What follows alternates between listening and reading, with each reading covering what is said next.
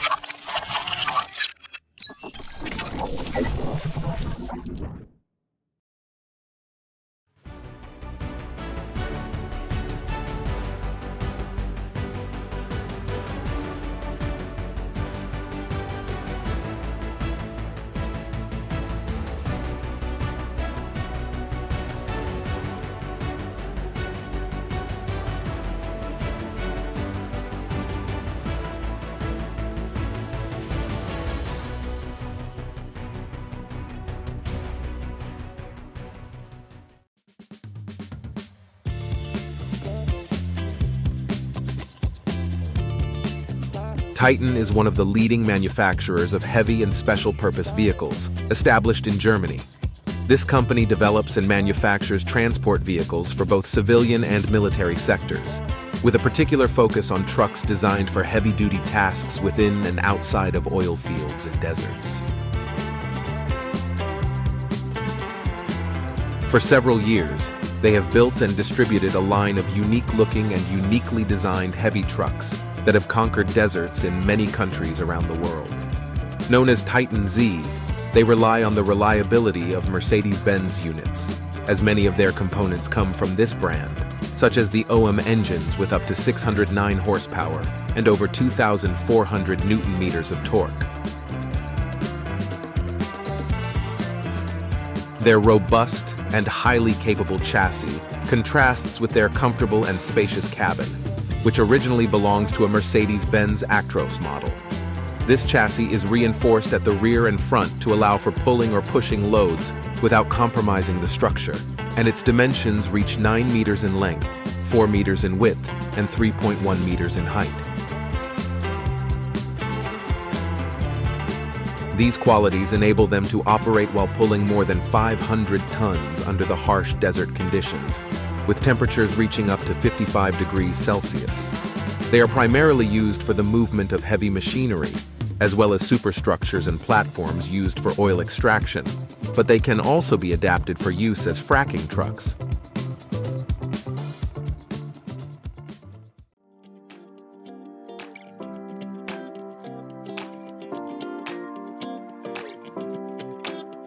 Float planes are renowned for their unique ability to take off and land on water surfaces. However, this very quality hinders their full mobility on land. Due to this limitation, some companies dedicated to providing services with these aircraft have developed a system to deploy and recover them from land.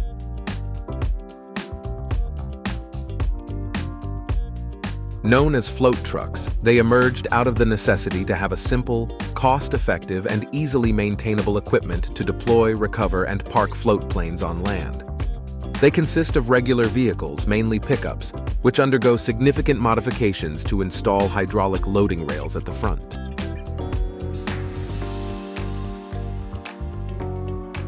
Essentially, the pickups are cut in half to achieve greater maneuverability, although this requires the modified units to be all-wheel drive or front-wheel drive. To carry out their task, the float plane accesses the land through a ramp and positions itself partially outside the water.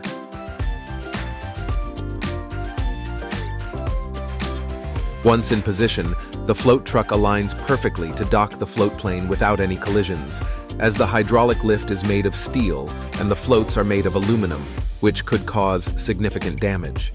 Once docked, using a hydraulic motor, the loading rails are elevated by 15 centimeters, allowing the float plane to move without hitting anything.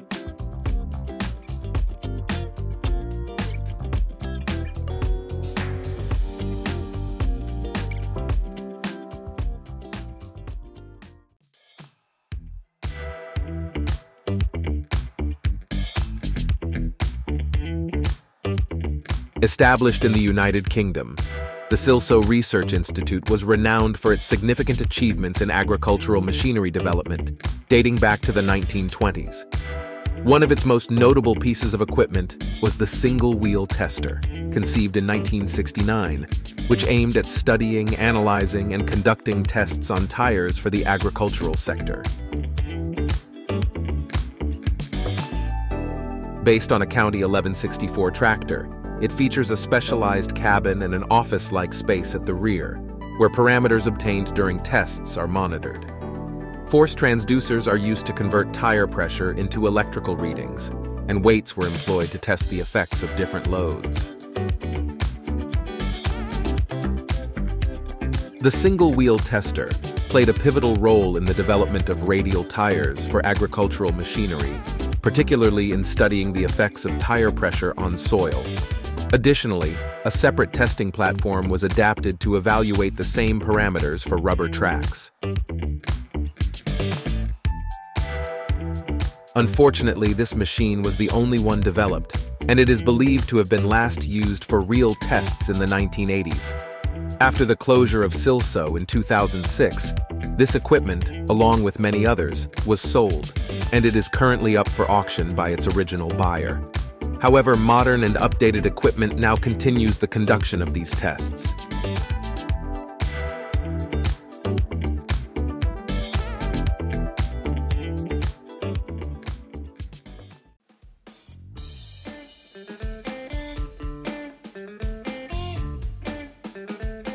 The K700 is one of the most iconic heavy-duty tractors in Russia. Currently produced by the Kirovets company, it became a symbol in the agricultural sector of the Asian region from its beginnings, thanks to its outstanding qualities that made it an indispensable tool for heavy work in extreme climates. Due to its popularity, especially for its sturdy and highly resistant structure, the K700 became one of the most sought-after trucks for refurbishment. This process involves integrating more powerful next-generation engines from brands like Volvo or DAF, which increase the original power of the K700 by over 100 horsepower. As a result, the cabins of these trucks need to be adapted to seamlessly incorporate the new engines, it's worth noting that cabins from English versions are used to avoid affecting the original steering mechanism and to improve the driver's position and visibility. Additionally, since the K700 originally has a hood design, the frame requires cutting at the front to ensure the proper fit of the new cabin.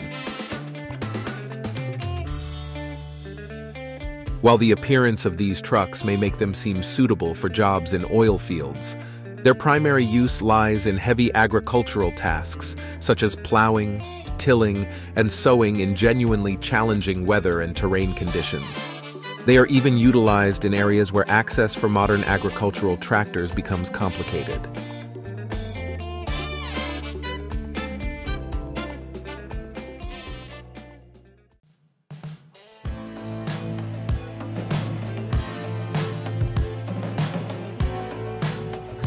Agromaster is a Russian company dedicated to the development and manufacturing of heavy-duty agricultural implements. Among its creations, the Autotrac U260 stands out as an agricultural tool carrier truck, offering exceptional performance and versatility for various tasks both within and outside the farmland. This unit is based on a Kamaz truck, but underwent significant modifications to ensure the necessary power and traction for its activities.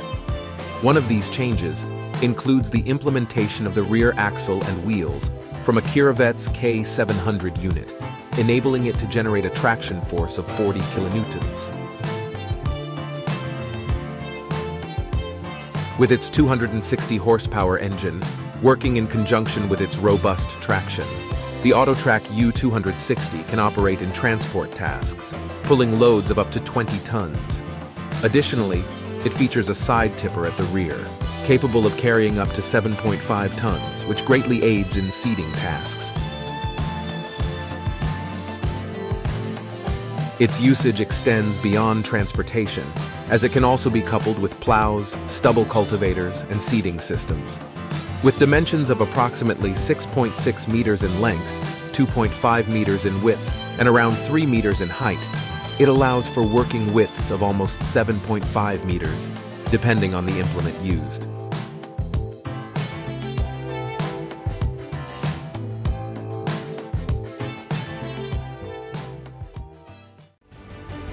Thank you so much for sticking around until the end of the video.